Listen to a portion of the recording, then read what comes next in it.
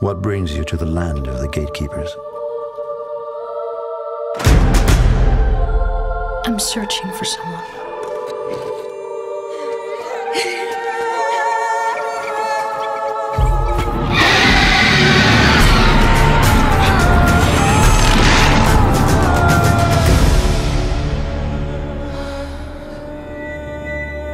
Dangerous quest for a lone hunter.